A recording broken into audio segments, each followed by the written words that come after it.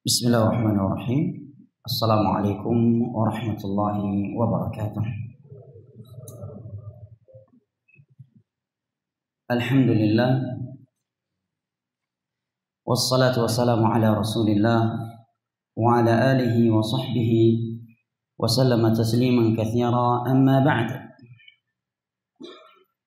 Puji dan syukur senantiasa Allah Jalla wa Ala yang telah berfirman wa in ta'uddu ni'matallahi la tuhsuha innal insana lazalumun kafar dan kalaulah kalian ingin menghitung-hitung akan nikmat Allah atas kalian la tuhsuha.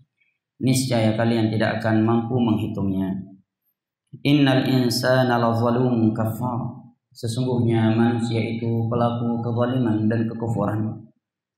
Salawat beserta salam senantiasa kita sanjung sajikan kepada Nabi besar kita, keluarga dan segenap sahabat-sahabat beliau ridwanullahi alaihim ajma'in yang telah bersabda wa man salaka tariqan yaltamisu fihi ilma sahalallahu lahu bihi tariqan ila al-jannah wa ma jatama'a qaumun fi baitin min buyutillah yatluna kitaballah wa yatadarasunahu fima bainahum illa nazalat alaihim sakinah wa ghashiyatuhum rahmah wa haffathumul malaikah wa dzakarahumullahu indah. Dan barang siapa yang menempuh sebuah perjalanan dalam rangka menuntut ilmu agama niscaya Allah akan mudahkan baginya jalan menuju surga dan tidaklah ada sebagian manusia berkumpul di rumah Allah mempelajari agama Allah melainkan akan turun kepada mereka sakinah ilahi tercurahkan kepada mereka rahmat dari Allah Jalla wa Ala wa hafadhumul malaika malaikat-malaikat Allah meliputi mereka di majlis tersebut dan nama-nama mereka disebut-sebut oleh Allah Jalla wa Ala dengan pujian dan sanjungan di hadapan malaikat-malaikat yang ada di sisinya. Jamaah yang dimuliakan Allah, rahimani wa rahimakumullah, kita lanjutkan kembali kajian kita dari kitab Bulughul Maram bab Jami' dan kita masih di hadis-hadis Nabi sallallahu alaihi wasallam yang disebutkan oleh Al-Imam Ibnu Hajar Al-Asqalani rahimahullahu taala yang berkaitan dengan adab. Yang mana pada pertemuan yang lalu kita membahas hadis yang ke tiga eh, dari kitab Jami' di Bulughul Maram pada nomor 1456 yaitu hadis Nawad bin Sam'an radhiyallahu an di mana beliau menyatakan sa'altu Rasulullah sallallahu alaihi wasallam 'anil birri wal ithm aku pernah bertanya kepada Nabi sallallahu alaihi wasallam tentang kalimat bir. Apa itu albir dan apa itu al ithm maka Nabi pun menjawab albirru husnul khuluq. Albir adalah husnul khuluq dan al ithm itu adalah ma haka fi sadrika wa karihta an yattali' alaihi nas Ya, poin pertama, alinea pertama dari hadis ini telah kita selesaikan pembahasannya dengan menyebutkan beberapa faedah dari para ulama di pertemuan yang lalu. Di pertemuan yang lalu telah kita bahas definisi albir. Dan kenapa sahabat yang mulia ini bertanya kepada Nabi tentang albir? Karena jawabannya karena kalimat albir sering kali atau berulang kali penyebutannya dalam Al-Qur'an dan hadis. Juga telah kita bahas di pertemuan yang lalu kenapa Nabi mendefinisikan albir yang mana kalimat albir adalah kalimat yang mencakup segala kebaikan agama ini tetapi Nabi mendefinisikannya dengan husnul khuluq. Apakah albir itu hanya husnul khuluq? Ini juga telah kita bahas di pertemuan yang lalu yang secara ringkasnya bahwa husnul khuluq terbagi menjadi dua, husnul khuluq kepada Allah dan husnul khuluq kepada hamba-hamba Allah dan telah kita sebutkan pula kapan seorang itu dikatakan husnul khuluq kepada Allah dan kapan seorang itu dikatakan berhusnul khuluq kepada hamba-hamba Allahu Jalla wa Ala. Dan pada malam hari ini insyaallah taala kita akan membahas alinea yang berikutnya dari hadis Nabi sallallahu alaihi wasallam ini. Sebelum saya melanjutkan adakah yang mau menyetor hadis ini? Mungkin ada yang menghafalnya. Hadisnya pendek.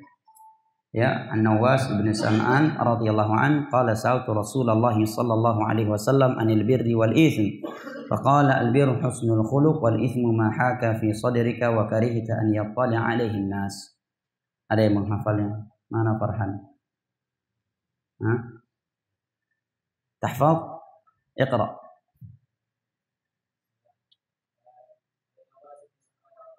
Diri biar lebih jelas suaranya.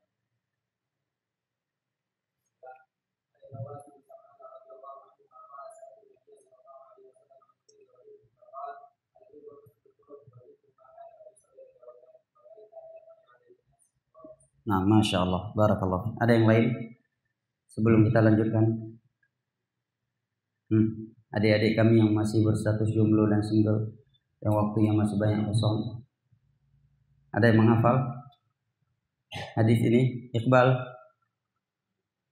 Belum. Haris? Ada yang lain? Hah? Hah? Nggak ada. Baik, baik. Kalau demikian kita lanjutkan. Adanya yang kedua di dalam hadis itu Nabi mendefinisikan di dalam hadis ini Nabi mendefinisikan tentang al-ism. Telah kita sebutkan di pertemuan yang lalu bahwa kalimat al-ism ini berulang kali penyebutannya dalam Al-Qur'an dan hadis. Dan al-ism adalah lawan dari kata al albir yang sering kali diterjemahkan ke dalam bahasa Indonesia dengan arti do dosa al-ism. Nah, inna ba'dadh-dhanni ism kata Allah. Ya. Jadi kalimat al-ism berulang kali penyebutannya dalam Al-Qur'an dan hadis. Maka Nabi, sahabat yang mulia ini bertanya kepada Nabi, apa itu al-ism wahai Rasulullah? Maka Nabi berkata, "Mahaka fi sadrik."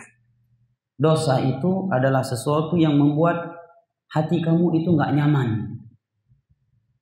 Membuat hatimu sempit. Engkau risau dengannya. Wa karihta an yattali alaihi nas. Dan engkau tidak mau diketahui oleh manusia melakukan perbuatan itu. Itu al-ism. Para ulama yang mensyarah hadis ini menerangkan, Nabi berkata demikian, tujuannya adalah untuk menerangkan akibat buruk dari dosa dan kriteria seorang mukmin, sifat seorang mukmin yang sejati tatkala dia berhadapan di hadapan doh, dosa. Bukan maksudnya bahwa definisi dosa seperti ini maka barang siapa yang hatinya tidak seperti ini berarti itu bukan dosa walaupun itu haram dalam Al-Qur'an dan hadis. Jelasnya? Ini maksudnya secara umum. Ya. Sehingga kata Syekh Muhammad bin Shalih Al-Utsaimin لكن هذا الخطاب في المسألة الأخيرة لمن شرح الله صدره للإسلام لا لكل أحد Ucapan Nabi Shallallahu Alaihi Wasallam di atas bahwa yang namanya dosa itu adalah sesuatu yang membuat hati kamu risau, gelisah, tidak nyaman, dan engkau tidak mau diketahui oleh manusia. Ini definisi dosa yang Nabi sebutkan di hadapan sahabatnya yang mulia ini. Nawas bin Sam'an. Kata Syekh Muhammad bin Salim Utsaimin, Nabi berbicara demikian di hadapan sahabat yang mulia yang telah Allah bukakan pintu hatinya untuk agama Islam dan ini bukan untuk setiap orang. Kenapa? Karena banyak orang yang melakukan maksiat hatinya nggak risau, dia nggak gelisah, hatinya nggak sempit, justru dia nyaman dengan maksiat dan tidak pula dia malu kepada manusia atas maksiat tersebut. Justru sebagian orang malah bangga dan senang diketahui oleh sebagian orang bahwa dia telah melakukan maksiat itu. Jelas ya? Allah Subhanahu wa taala menyebutkan di dalam surat Fatir Surat, uh, surat Fatir ayat 8 yang menerangkan kepada kita bahwa ada sebagian manusia yang tabiatnya sudah terbalik.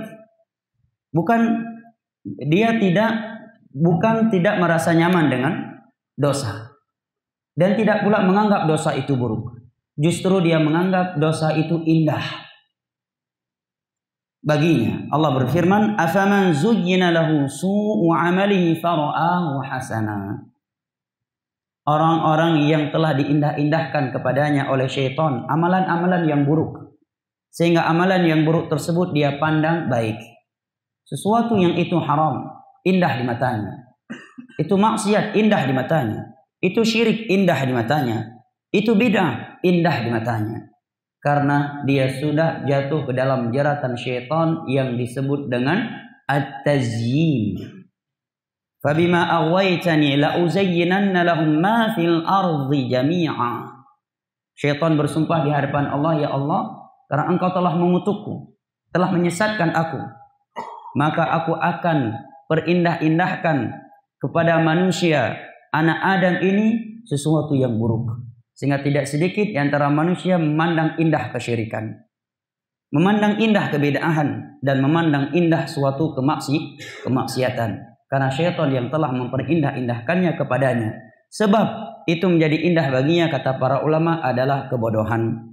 Karena tidak mendapatkan bimbingan ilmu agama yang berdasarkan Al-Quran dan hadis dengan pemahaman para sahabat Nabi Sallallahu Alaihi Wasallam.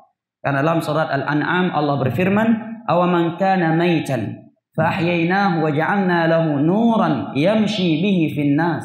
Kaman mathaluhu fi dhulumati laysa bikharijin minha. Apakah orang yang tadinya telah mati hatinya? Kemudian kami hidupkan dengan cahaya Islam. Yang tadinya dia bergelimang dalam kesyirikan, dalam lubang kesyirikan para sahabat Nabi sebelum Islam. Pelaku kesyirikan. Ya, sebagian mereka jatuh dalam bermaksiat-maksiat besar. Ya. Dan melakukan ibadah-ibadah dengan cara-cara yang beda. Yang itu bukan dari agama Nabi Ibrahim, Nabi Ismail, dan bukan pula dari agamanya Nabi Musa dan Nabi Isa sebelumnya. Kemudian kata Allah, mereka sebelumnya mati hatinya, mati dengan syirik, mati disebabkan bid'ah dan mati disebabkan maksiat. Kemudian kami berikan, kami hidupkan mereka kembali dengan tauhid, dengan sunnah, dan kami berikan kepadanya cahaya ilmu yang dengan cahaya ilmu tersebut mereka bisa berjalan di tengah-tengah manusia, dapat membedakan antara kebenaran dan kebatilan. Apakah orang yang seperti ini sama dengan orang-orang yang masih berada di dalam kegelapan kebodohan? yang menerangkan kepada kita bahwa sebab seorang itu menganggap indah sesuatu yang sebenarnya itu buruk dalam agama ini disebabkan kebodoh kebodohan. Oleh karenanya Nabi Shallallahu Alaihi Wasallam bersabda, "Mayuridillahu bihi khairan ifaqihu fid din." Barang siapa yang Allah inginkan kebaikan untuknya, niscaya Allah akan memahamkan dia tentang agamanya. Ciri seorang itu berada di jalan kebaikan dan Allah ingin memasukkannya ke dalam surga adalah istiqamah dan semangatnya dia mempelajari ilmu agama. Ini kaidah dari Nabi sallallahu alaihi wasallam. Hadis di atas riwayat Al Imam Al Bukhari dari Muawiyah ibnu Abi Sufyan radhiyallahu anhu.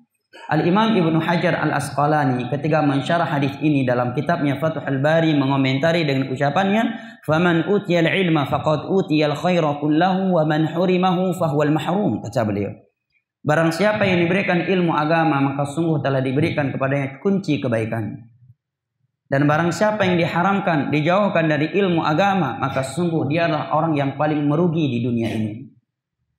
Al-Imam Ibn Qayyim juga menyatakan hal yang sama, semakna itu. Kata beliau, "Ma min khairin fid dunya illa min atharil ilm, wa man wa ma min syarrin fid dunya illa min atharil jahl." Tidaklah ada kebaikan di dunia ini melainkan sebabnya adalah ilmu agama dan tidaklah ada kejelekan yang terjadi di permukaan bumi ini melainkan sebabnya adalah kebodohan. Imam Syafi'i rahimahullahu taala menyatakan man arada dunya fa'alih bil ilm wa man arada al-akhirah fa'alih bil ilm wa man aradahuma fa'alih bil ilm. Barang siapa yang ingin hidup bahagia sukses di dunia ini maka hendaknya dia menuntut ilmu agama. Barang siapa yang ingin bahagia di akhirat maka hendaknya dia menuntut ilmu agama dan barang siapa yang ingin bahagia sukses dunia dan akhiratnya maka hendaknya dia mempelajari ilmu agama maka kata para ulama kaidah di atas tidak berlaku untuk setiap orang tapi itu berlaku untuk orang yang telah Allah lapangkan dadanya untuk agama ini karena sangat banyak dari manusia yang mereka tidak risih tidak risau dengan maksiat dan dia tidak merasa malu ya, tidak merasa malu dengan maksiat yang telah ia lakukan.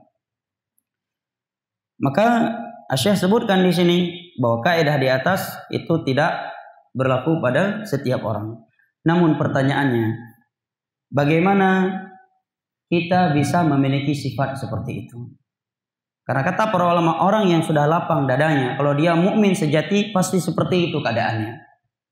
Dia akan risau, gelisah, hatinya sedih, sempit karena maksiat dan dia akan merasa malu dengan maksiat tersebut. Sebagaimana halnya Nabi kita Shallallahu Alaihi Wasallam dan para sahabatnya. Nabi kita bersabda, "Hubbiba ilayya minad dunya at wan nisa." Wa ju'ilat qurratu 'ainin li fi salah. Hal yang Allah tanamkan kecintaan di dalam hatiku kepadanya dari dunia ini adalah kaum wanita. Ya, maksudnya dengan eh, kaidah-kaidah syar'i ya. Jangan mendengar hadis ini Nabi mencintai wanita akhirnya ini enggak cintai. Ya, kembali ya. Cinta yang syar'i dalam batasan syar'i. Dan wewangian parfum. Ini kebiasaan Nabi. Ya, jangan sampai kita mengira bahwa kezuhudan bahwa bau mulut yang tidak enak adalah simbol zuhud, simbol sunnah. Ya, ya, yang timbul apa kau? Ya, ya, wangilah simbolnya sunnah. Nabi suka wangi, Nabi rapi. Ya, tentunya fattaqullaha mastata'tum. Ya. Tetapi ketenangan hatiku, penyejuk hatiku itu hanya pada sholat kata Nabi. Ketika sholatlah hatiku tenang, nyaman. Demikianlah seorang mukmin. Dalam sebuah riwayat yang diriwayatkan oleh Imam Ahmad yang disebutkan oleh Imam Ibnu Katsir ketika beliau menafsirkan firman Allah wasta'inu bis sabri was salah. Wa innaha lakabiratun illa 'alal khashi'in. Beliau menyebutkan di bawah ayat ini sebuah hadis yang diriwayatkan oleh Imam Ahmad dari Hudzaifah radhiyallahu bahwa Beliau menyatakan karena Rasulullah sallallahu alaihi wasallam idza nabahu syai'un fazi'a ila shalah atau laja ila shalah merupakan kebiasaan Nabi apabila ada perkara besar, masalah besar, Nabi langsung sholat. Ini tabiat yang baik, yang baik. Contoh lagi adalah hadis riwayat Al Imam Al Bukhari dan Muslim dari sahabat Hanzalah Al-Ansari ahadu kutabi Nabi sallallahu alaihi wasallam. Seorang sahabat yang bernama Hanzalah salah satu pencatat wahyu yang turun kepada Nabi. Suatu ketika Abu Bakar bertemu dengan sahabat yang mulia ini di salah satu jalan Madinah. Tatkala Hanzalah bertemu dengan sahabat Abu Bakar, Hanzalah berkata, "Nafaqa Hanzalah. Nafaqa Hanzalah. Nafaqa Hanzalah." Wahai Abu Bakar, ini Handalah udah munafik. Ini Handalah sudah munafik. Ini Handalah sudah munafik wahai Abu Bakar. Jadi oleh Abu Bakar terkejut ke Abu Bakar. Menanam itu? Pakah menanam apa? Kenapa kamu mengeluarkan kalimat seperti itu? Kalimat munafik kan kalimat besar. Dan tentunya kalimat munafik mencakup nifak kecil dan nifak besar. Eh? Maka Hanzalah pun menceritakan sebabnya. Kenapa beliau berkata demikian? Ya Rasulullah, idza ya Abu Bakrin, idza jalasna inda Rasulillah sallallahu alaihi wasallam, yudzakuruna bil jannati wan nar, faka'annaha ra'yal 'ain. فلما خرجنا من عنده عافسنا الأزواج والأولاد والضيعات نسينا ذلك كثيرا Wahai Abu Bakar, saya merasakan hati ini benar-benar munafik. Buktinya ketika kita berada di majelisnya Nabi, di saat beliau membahas tentang surga, menerangkan kepada kita dahsyatnya neraka, alam barzah, seakan-akan surga neraka itu berada di depan kedua mata kita. Tetapi begitu kita keluar dari majelis beliau, mulai berinteraksi dengan harta kita, pekerjaan kita, anak istri kita, aktivitas dunia kita, sering kali hal itu terlupakan oleh kita. Ini ucapan Hang Anzalah. Padahal pekerjaan para sahabat adalah pekerjaan yang halal, bukan pekerjaan haram. Anak istri mereka adalah sah sahabat, orang-orang yang sudah dijamin masuk surga. Di masa mereka belum ada mall, gak ada musik seperti zaman sekarang. Tidak ada wanita yang muka aurat seperti zaman sekarang. Tidak ada Facebook, tidak ada Twitter, ya. Tidak ada media sosial yang seperti zaman sekarang ini. Beliau merasakan demikian, menerangkan kejujuran hati kita. Kita berada di zaman yang sudah luar biasa rusak, yang mungkin 180 derajat bedanya dengan zamannya Nabi. Dan kita pun tidaklah lebih sering menghadiri majelis ilmu agama ketimbang para sahabat Nabi. Tetapi kita merasa hati kita aman-aman aja kok, nggak masalah. Kenapa? Nanti akan saya bacakan ucapan Al-Imam karena hatinya sudah mati. Karena hatinya sudah mati, kalau kita melihat ke bahasa ayat Al-Quran tadi, karena syaitan telah mengindah-indahkan kejelekan yang dia jatuh ke dalam ke dalamnya. Mendengar demikian, setelah Abu Bakar menyatakan, ilung pilagian wahai Handalah. Lun tuan bilang Saya juga demikian. Ini menunjukkan tawaduknya Abu Bakar pada Abu Bakar orang nomor satu dari umat Nabi Sallallahu Alaihi Wasallam. Beliau mertua Nabi. Iya. Beliau disebutkan oleh Allah dalam Al-Quran. Kita yutan. Entah ayat itan. Bahkan mungkin kalau kita membuka ayat-ayat Al-Quran yang menerangkan sifat munafik, kita mendapati diri kita ada dalam ayat itu. Di saat Allah menyebutkan qad aflahal mu'minun, innamal mu'minun dan seterusnya dari ayat-ayat menerangkan kriteria orang-orang mukmin, kita tidak mendapati diri kita ada di dalam ayat itu. Ya. Tapi lihat ucapan Abu Bakar. Boleh disebutkan dalam Al-Quran oleh Allah. Itu huma fil ghar. Ingatlah oleh kalian tatkala Rasulullah dan Abu Bakar berada di dalam gua Thur. Sembunyi dari kejaran kaum musyrikin disebutkan oleh Allah. Abu Bakar dalam Al-Quran. Beliau masih hidup sudah diberitakan oleh Nabi masuk surga. Nabi setiap kali sakit beliau meminta Abu Bakar pengganti beliau. Ke mana Nabi pergi, Abu Bakar selalu ada di samping beliau. Orang yang orang tua yang pertama kali beriman kepada Nabi, yang membenarkan Isra wal Mi'raj di saat seluruh manusia di masa itu mendustakan cerita Nabi tentang Al Isra wal Mi'raj karena nggak masuk akal bagi mereka. Abu Bakar yang pertama kali mengimani dan menghibur Nabi Shallallahu Alaihi Wasallam. Abu Bakar orang yang pertama kali memerdekakan budak sahaya dari para sahabat Nabi yang ditindas di Mekah oleh kaum musyrikin. Beliau adalah orang yang pertama kali membelanjakan hartanya di jalan Allah. Dalam seluruh kebaikan beliau adalah orang yang pertama kali. Bahkan di dalam sebuah hadis yang sahih ketika Nabi bertanya siapa di antara hari ini yang berpuasa? Abu Bakar menjawab saya. Siapa di hari ini yang telah mengantar jenazah? Abu Bakar menjawab saya. Siapa di antara kalian hari ini telah memerdekakan budak? Abu Bakar menjawab saya. Kata Umar, tidaklah Nabi bertanya tentang kebaikan, melainkan Abu Bakar telah mendahului. Sampai suatu saat kata Umar, aku ingin mengalahkan Abu Bakar. Aku pun datang memberikan setengah hartaku kepada Nabi sebagai sedekah. Rupanya Abu Bakar telah mengalahkan aku, mendahuluiku, dia telah menginfakkan seluruh hartanya. Sampai-sampai ketika Nabi bertanya, wahai Abu Bakar, miwa harta dron mandung kan hijau sedekah, pun peninggai kan ini. Maka dijawab oleh Abu Bakar, yang aku tinggalkan untuk mereka adalah Allah dan Rasulnya. Itu yang aku tinggalkan untuk mereka, wahai Rasulullah. Imanan Abu Bakar yang luar biasa. Tayo tap tu bit peng tertuh rebe matang baje kupi bunganya mungkin ti belun tinggal ingat. Ya, nya sing hati tang ti je kupi raw saja itu. Paya dan tangan yang pah betul bet yang tabe dong itu. Paya dah fikir-fikir ti belun mungkin ha. Hangat kata tinggal. Ya, atau salah infak datang lewat kota amal, keluarkan uang, kira uang dua ribu, tiga ribu, begitu pulang rupanya uang seratus ribu, ya, yang langsung pensiun dini sebulan seratus ribu tadi untuk satu tahun, salat Jumat, ya, Abu Bakar tidak demikian. Apa kata Abu Bakar ketika mendengar ucapan Hamdalah, wahai Hamdalah, ilun tuan pila gedron. Saya juga demikian. Ketawaduan Abu Abu Bakar. Abu Bakar tidak berkata, maka ji kain-kain menejak dengan long. Ya, maka ji ini minta meninte yang menail me macam long. Alhamdulillah anak lagi yang kena meninte long Rasulullah. Ya ni long cukup-cukup soleh. Ya, maka ji mena apa pun telefon tu bahlong di nasihat dan motivasi baca Quran. Enggak. Abu Bakar. Setelah itu mereka pun langsung pergi, ya. Singkat syahid dari hadis itu tidak saya sebutkan sempurna kisah tersebut karena saya ingin bawa hadis ini untuk sebuah untuk syahid pembahasan kita.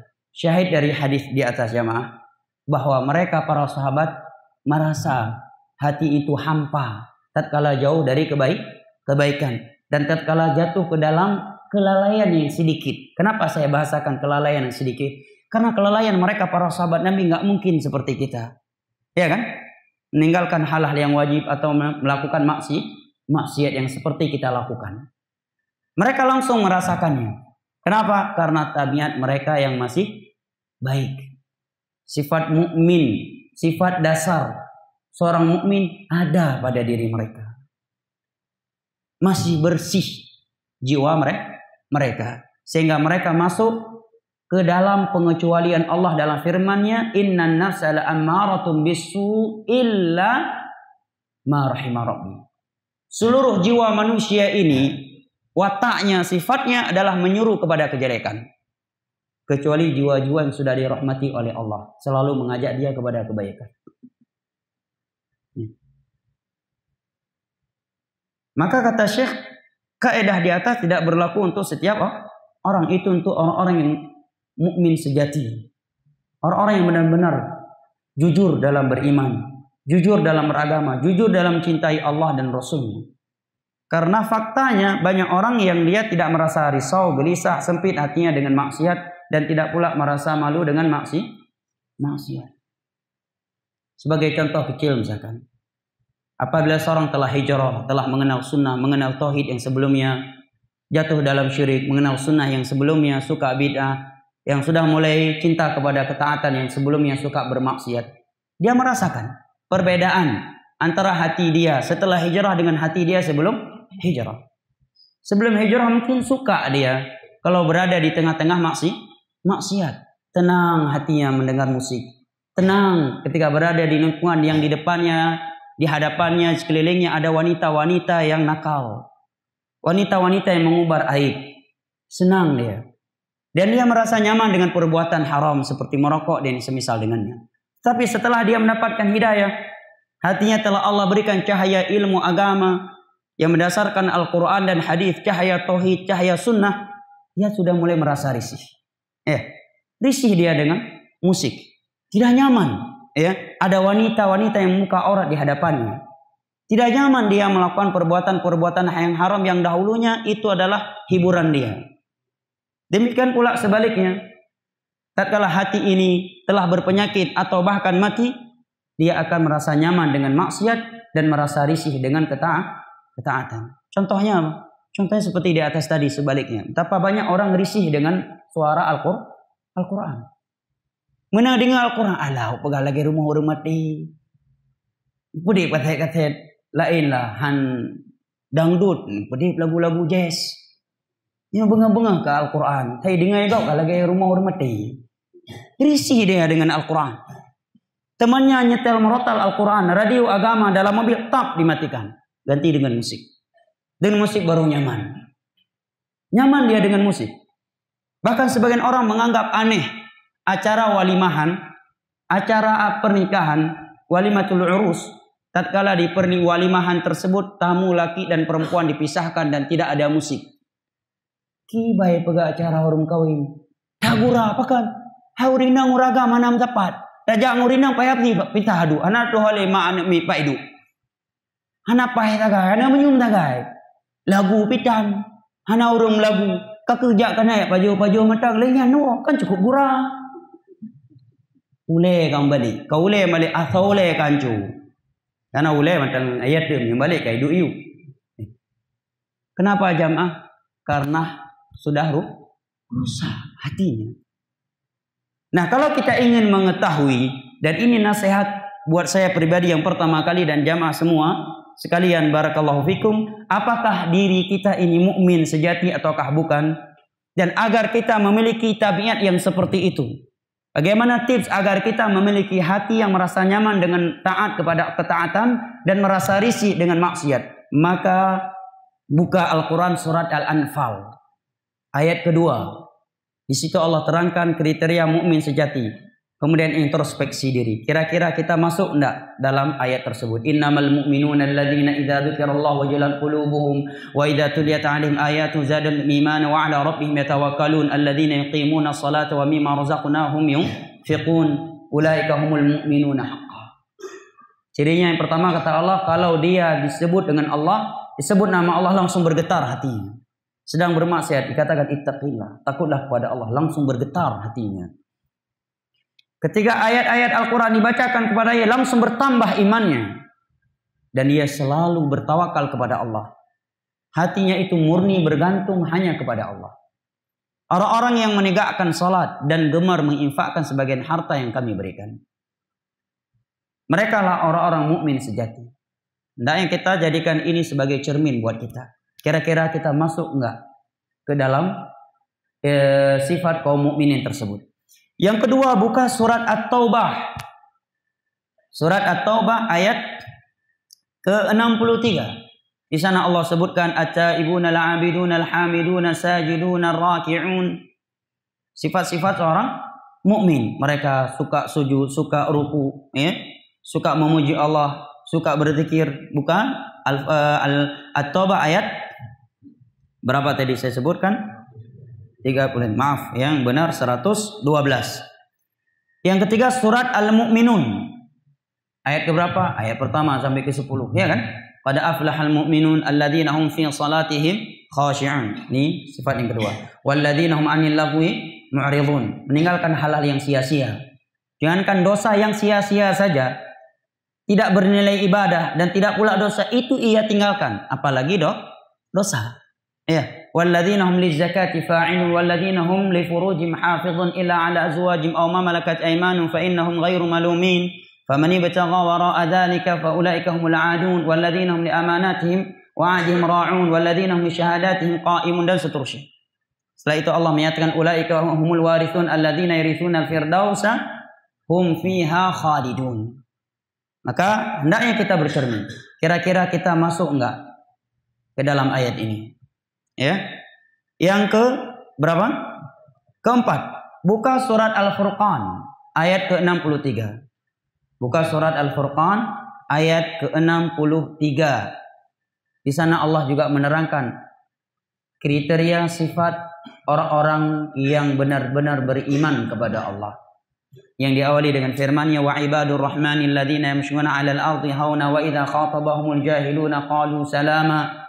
Ya, walladzina walladzina yabituna li rabbihim sujadan wa qiyama. والذين يقولون ربنا اصرف عنا عذاب جهنم إن عذابها كان غراما والذين إذا أنفقوا لم يسرفوا ولم يقتروا وكان بين ذلك قواما Allah sebutkan sekian kriteria mereka setelah itu Allah akhiri dengan firman-Nya ulaika yujzaunal ghurfata bima sabaru wa yulqauna fiha tahiyyatan wa salama maka kita pun introspeksi diri lihat kira-kira dari kriteria ke dari sekian kriteria mereka Ibadur Rahman yang Allah sebutkan di dalam ayat-ayat tersebut. Ada nggak pada diri kita? Ya, ada nggak? Kemudian yang berikutnya,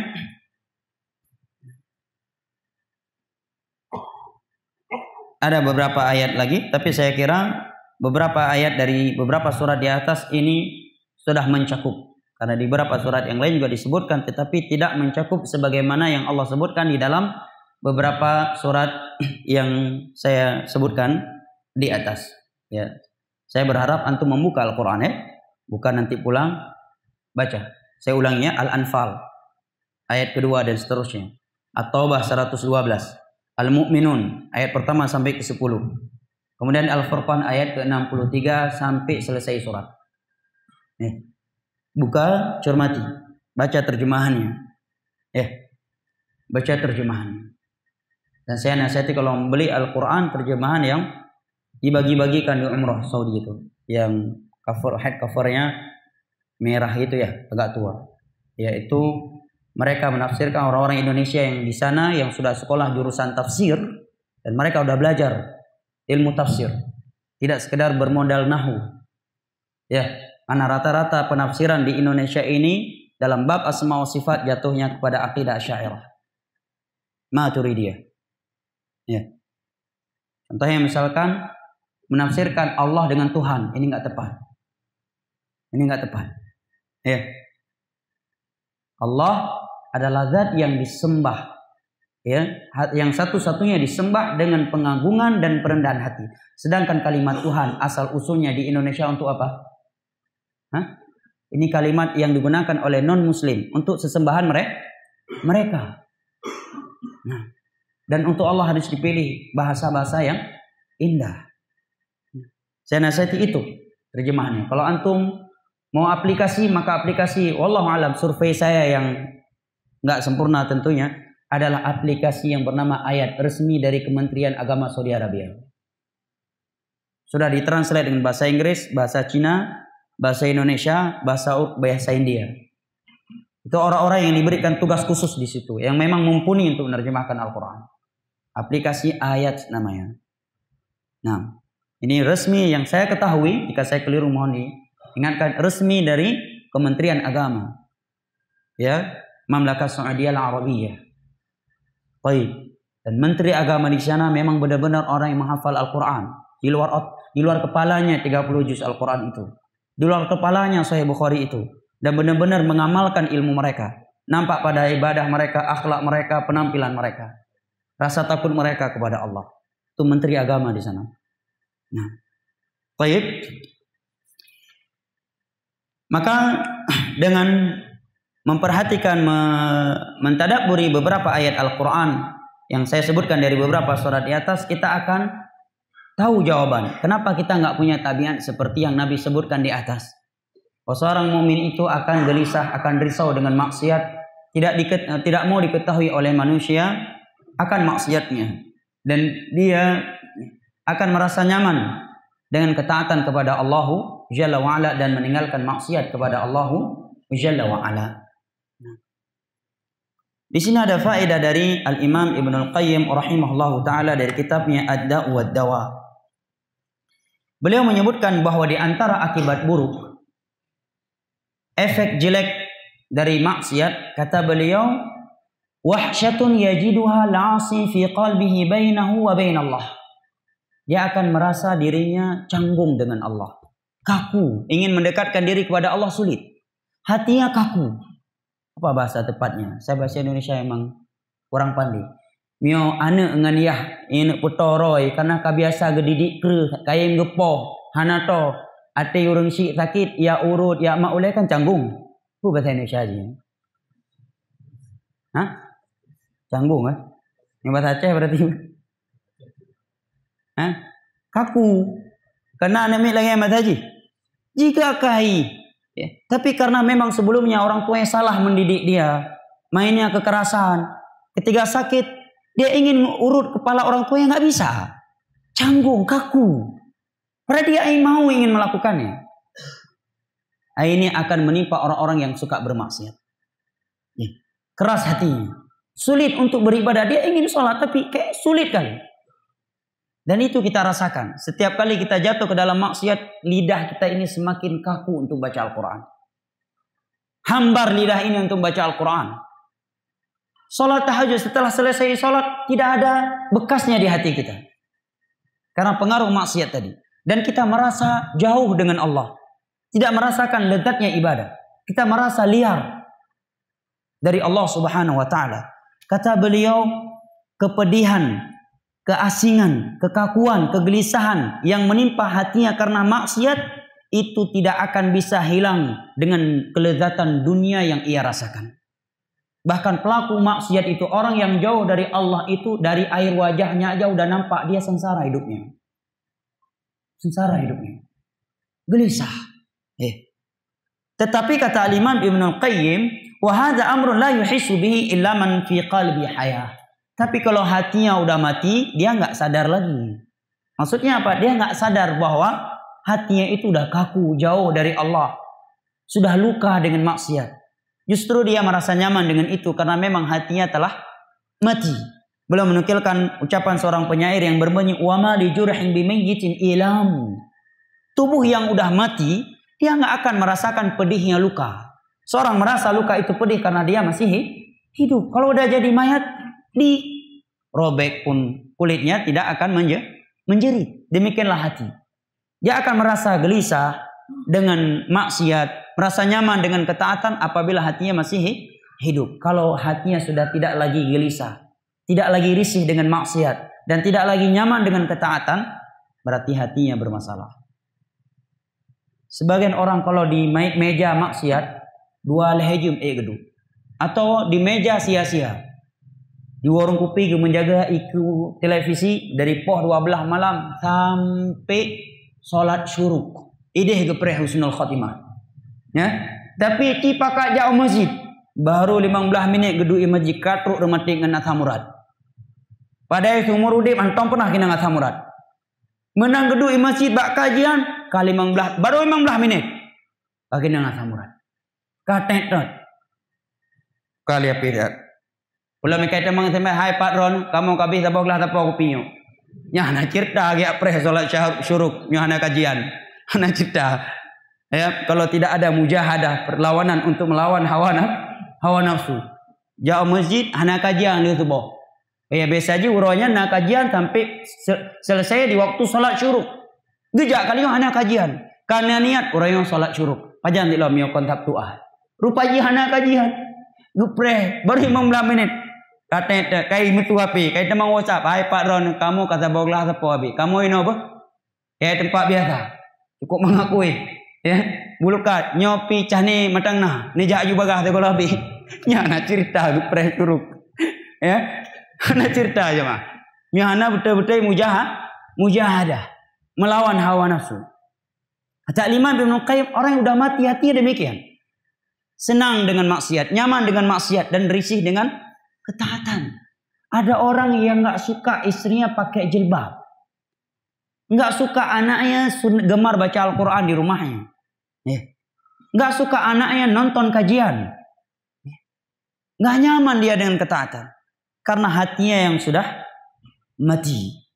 Kata beliau, ada seorang beliau memberikan sebuah cerita bahwa ada seorang lelaki curhat kepada seorang ulama yang ahli ibadah bahwa dia merasakan hatinya itu gelisah, galau, kaku, canggung, ingin beribadah kepada Allah, merasa asing dari Allah. Maka sang alim tersebut berkata kepadanya dengan mengeluarkan sebuah pantun yang disebut dengan syair dalam bahasa Arab, "Idza kunta qad awshakat awshatka dzunubu fada'ha, idza syi'ta wasta'nis." Kalau kamu sudah dibuat buas liar oleh dosamu, karena memang orang yang selalu berdosa liar hidupnya. Liar dari Allah Subhanahu wa taala, liar dari rumah Allah, liar dari membaca Al-Qur'an, liar dari salat tahajud. Ya, liar dari jalan-jalan kebaikan. Kalau kamu sudah dibuat liar oleh dosamu, maka segeralah kamu meninggalkan dosa itu kalau kamu mau. Setelah itu kamu pasti akan merasa nyaman dan dekat dengan Allah Subhanahu wa taala alladzina amanu wa tatma'innu qulubuhum ala tatma'innul qulub Orang-orang yang beriman pasti hati mereka itu nyaman dengan mengingat Allah, dengan ketaatan kepada Allah. Karena memang hati itu hanya nyaman tatkala beribadah, taat, mengingat Allah Subhanahu wa taala. Wallahu a'lam bisawab. Saya kira kajian hari ini sampai di sini. Sudah masuk waktu adzan? Belum. Saya persilakan jika ada kritikan, masukan atau yang lainnya. Dan sebelumnya di sini ada beberapa buah pertanyaan yang belum terjawab dari pertanyaan minggu lalu.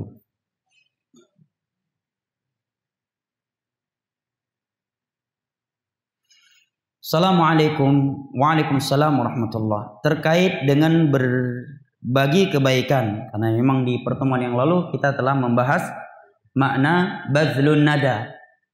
Ketika kita menerangkan definisi akhlak Kita saya sebutkan waktu itu ucapan Abdullah bin Mubarak. Bahwa akhlak yang mulia adalah suka berbagi, kemudian tidak mengganggu orang lain dan wajah yang berseri-seri. Maka saya sebutkan keutamaan berbagi dan definisi berbagi dalam agama kita. Maka di sini ada pertanyaan terkait dengan berbagi kebaikan berupa nasihat. Apa hukumnya yang tidak memi kini tulisan yang bisa membacanya S2 atau S3. Lu SMA ada mat. Ya, memikul. Hah? Karena melihat afan, karena melihat latar belakang pendidikan agama hanya berpatokan materi dari buku, media pengajian menjadi pemateri dalam kajian seperti majelis taklim ibu-ibu. Mungkin maksud uh, penanya dari ini apa apakah saya tercela meninggalkan kajian yang menyampaikan kajian yang mana pemateri kajian tersebut orang yang tidak mumpuni, tidak memiliki kapasitas ilmu agama, hanya berpatokan kepada buku-buku terjemahan yang sering terjadi di kajian ibu-ibu. Maka jawabannya dirinci. Apabila ini maksud belajar, ya belajar, ya maka hendaknya dia belajar kepada seorang guru yang memiliki padanya tiga sifat kata para ulama atau beberapa sifat. Yang pertama, dia memiliki kapasitas ilmu agama. Memiliki kapasitas ilmu agama. Tentunya kalau kita menyebutkan ilmu agama dan ilmu yang berdasarkan Al-Quran dan hadis dengan pemahaman para sahabat Nabi, para tabiin, tabi'ut tabi'in. Punya kapasitas dalam hal itu. Dia pernah pernah belajar kitab-kitab akidah, kitab-kitab fikih, kitab-kitab mustalah hadis, hal-hal yang berkaitan dengan tafsir, hal-hal yang berkaitan dengan kaidah fikih. Karena ilmu agama bidang itu saling berkaitan. Terkadang dia buah baca tafsir misalkan. Tafsir tulis oleh ulama sunnah. Rupanya di suatu ada hadis lain, si penulis telah menyebutkan hadis itu dengan sanatnya agar si pembaca bisa mengoreksinya dan beliau hidup di zamannya ahli hadis. Karena dia nggak punya ilmu hadis, akhirnya dia sampaikan hadis itu tanpa menjelaskan kewaifan pada sanatnya. Jelas ya? Atau dia tidak mumpuni dalam bab akidah. Ada ucapan-ucapan ulama salaf yang bunyinya umum, yang kesannya mentakwil sifat-sifat Allah. Pada itu ucapan umum beliau, adapun ucapan khusus beliau tentang istiwa, tentang sifat-sifat Allah yang lainnya sungguh jelas.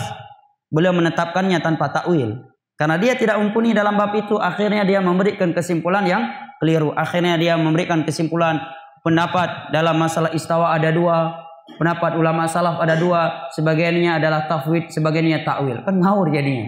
Kedua-duanya adalah pendapat ahli bidah dalam memahami istawa. Karena kurang mumpuni.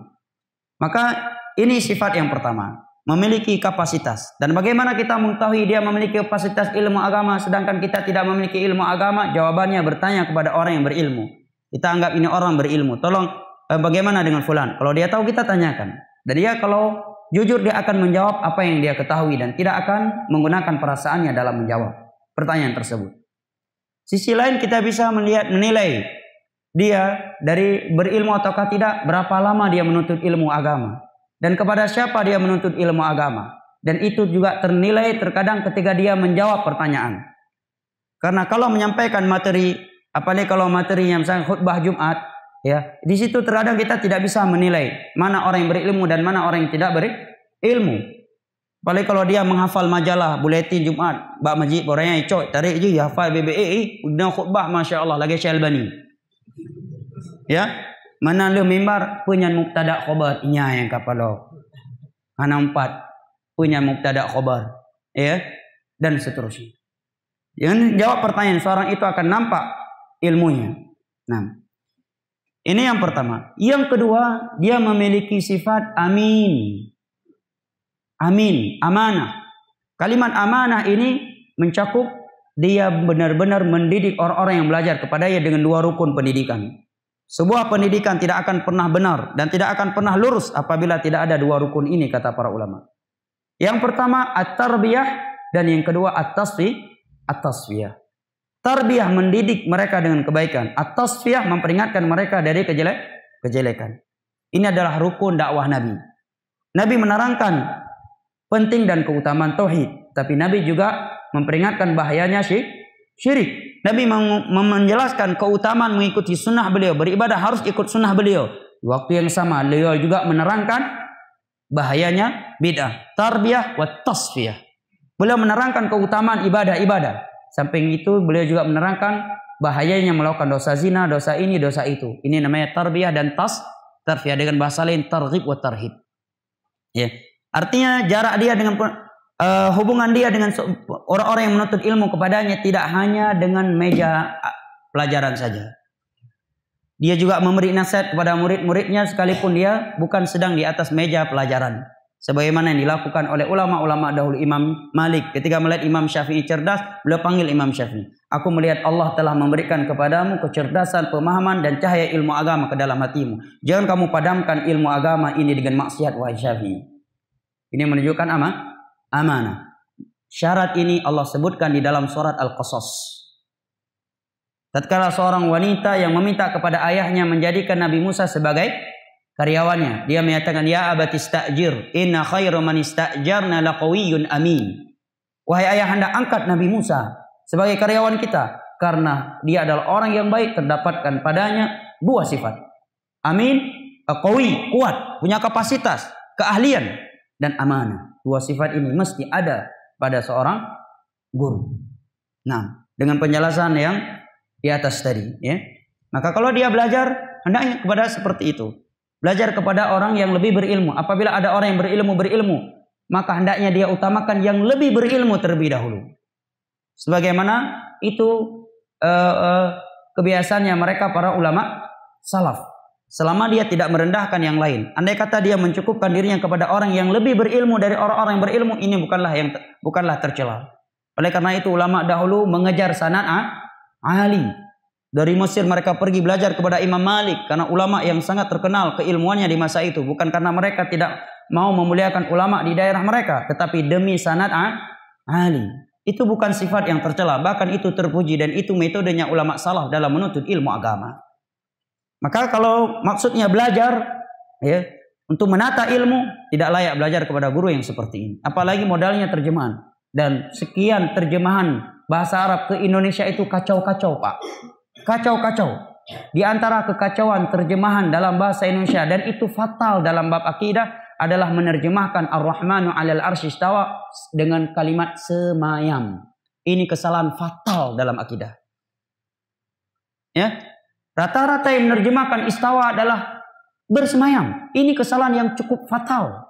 Karena bersemayam dalam kamus besar bahasa Indonesia sinonim du, duduk, betul kan? Sinonim duduk. Seluruh ulama salaf yang menerjemahkan, yang memaknakan istawa maknanya adalah irtafa wa qasada wa staqarra wa ala. Empat maknanya. Tidak ada makna duduk di situ. Meninggi, mengatas, menuju dan menetap. Dan Allah akbar. Allah al-ghaniyul hamid. Tidak boleh menisbatkan sebuah sifat kepada Allah kecuali dengan dalil dari Al-Quran dan hadis. Contoh lagi kekacauan terjemahan dalam bahasa Indonesia dan itu rata-rata dan itu berada di rata-rata di buku terjemahan rata-rata adalah menerjemahkan la'alla dalam Al-Quran dengan mudah-mudahan. La'allakum tattaqun. Mudah-mudahan kalian bertakwa. Ini kekeliruan yang cukup ya buruk pula. Karena la'alla di situ kata para ulama dalam seluruh ayat Al-Quran yang datang dari Allah itu bermana at-ta'lil artinya agar supaya karena kalau diterjemahkan mudah-mudahan itu namanya harapan. Harapan itu bagian dari doa. Allah berdoa kepada siapa? Dan harapan itu muncul dari seseorang karena dia berat melakukan itu. Misalkan saya berkata, mudah-mudahan ya rumah saya cepat selesainya. Kenapa? Karena saya lemah, nggak bisa membuat rumah sesuai dengan keinginan saya, ya kan? Tapi Allah, apakah ada sesuatu yang berat, sulit bagi Allah? Nggak ada. Tinggal kun fa fayakun. Maka menerjemahkan la'allakum tattaqun, la'allakum tuflihun. Mudah-mudahan itu keliru dan itu diingatkan oleh Syekh Utsaimin dalam syarah uh, Riyadhus Shalihin ketika beliau menerangkan firman Allah wadkurullaha katsiran la'allakum tuflihun dalam bab Jumat.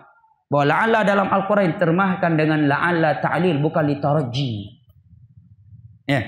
Tapi kalau maksudnya menerima kebenaran, maka jangankan dari orang yang seperti ini. Andai kata sekarang Fir'aun bangun menyampaikan kebenaran, sekedar menerimanya kita mendengar. Misalkan Fir'aun ini beda, hai bet tua sembahyang mau teh nyam tadi nggak? Ya, itu baru berlaku kaidah undur maqal wala tandur ila man Lihat ucapannya. Jangan kamu lihat orang yang mengucapkannya. Ini dalam menerima kebenar kebenaran. Adapun dalam belajar mempelajari ilmu agama, maka syaratnya pada orang tersebut ada dua syarat di atas tadi, sifat di atas tadi dengan penjelasan yang saya sebutkan di atas tadi. Wallahu a'lam bishawab. Sudah ada ya? Saya kira sampai di sini lebih dan kurang yang saya mohon maaf. Wabillahi taufiq wal hidayah. Wa sallallahu ala nabiyyina Muhammad wa ala alihi wa sahbihi wa sallam wa akhiru da'wana anil hamdulillahi rabbil alamin. Wassalamualaikum warahmatullahi wabarakatuh.